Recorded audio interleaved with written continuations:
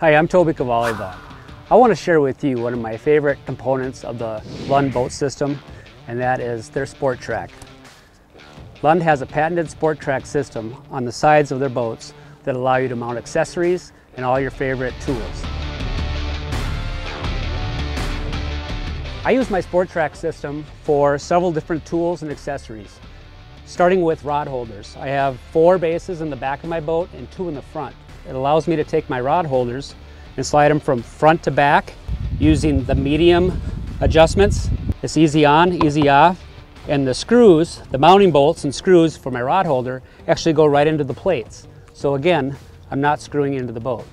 With the Sports Track system, I can mount multiple accessories. And another one that I like to mount is my HDS 9 Lowrance for when I'm back trolling. I can put a unit in the back. I don't have to buy extra because I can take my ram out from the front and mount it on a plate in the back without screwing any more holes in the side of my boat.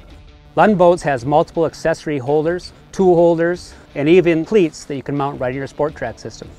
The SportTrak system from Lund Boats allows me to mount multiple items from tool holders, accessories, extra mounts, and rod holders without drilling any holes in my boats.